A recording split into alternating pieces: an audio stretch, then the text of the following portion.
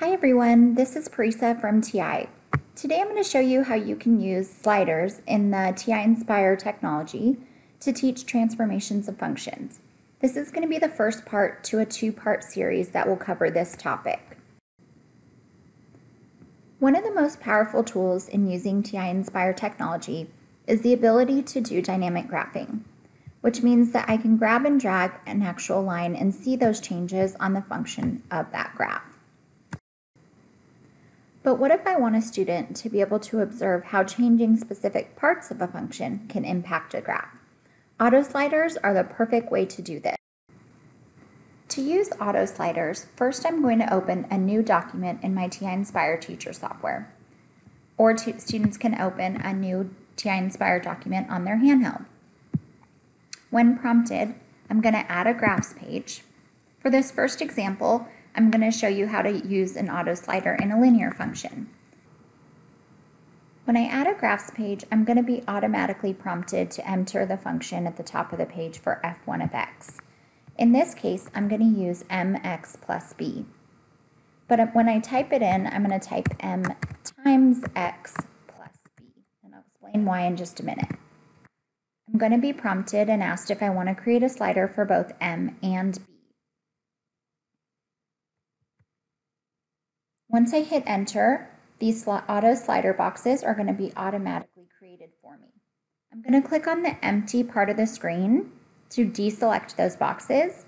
And notice now I can grab and drag this slider button and observe how those changes affect just the slope or the variable m. Or if I want to, I can come and grab and drag the B slider button and see how that impacts the y-intercept. Notice that when I entered this equation, I didn't type a value for m or a value for b. The only reason the sliders were created was because I typed a variable for m and b. And this is what will prompt you and give you the option to create an auto slider. Had I not put the multiplication symbol between m and x, it would have thought mx was the variable, which is not what I wanted. So it's really important that whatever coefficient you're using in front of the variable x, you make sure you put a multiplication symbol there. For this next example, I'm going to insert a new problem because I'm going to want to use the variable b again.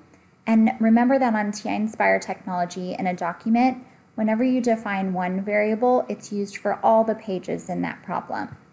So to insert a new problem, I can choose doc insert number four, and problem.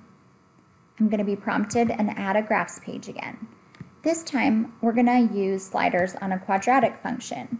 And I'm going to use a times x squared plus b times x plus c. Remember that I made sure to enter that multiplication symbol in between the a and the x and the b and the x. When I hit enter, I'm prompted again to create sliders for A, B, and C. I don't recommend using more than two to three sliders on a page because you'll just get really, it'll get kind of messy and there's only so much space to work with. So in this case, I'm gonna grab, I'm gonna grab this um, slider box. So I right clicked on that slider to choose move.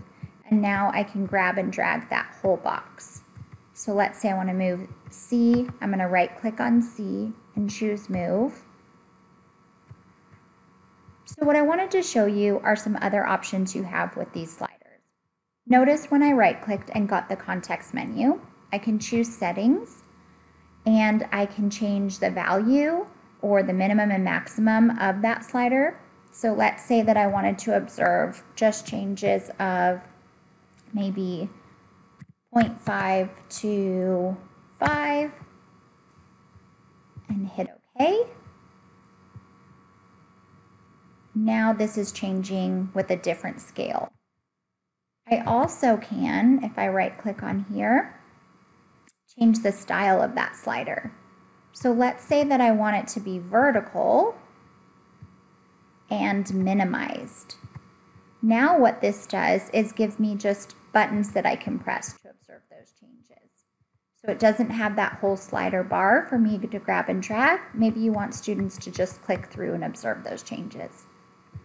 And the last one that I'm going to show you is how you can use Animate, where it runs through automatically and you don't have to click to change. So you might show this on a video um, or displaying this for students and ask, asking them to make those observations as it goes through the different values of C.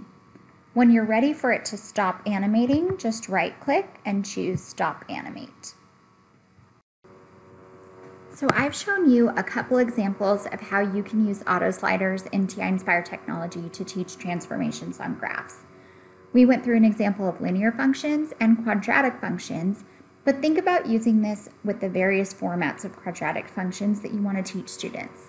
You can also use this for exponential functions, absolute value functions, and trig functions as well.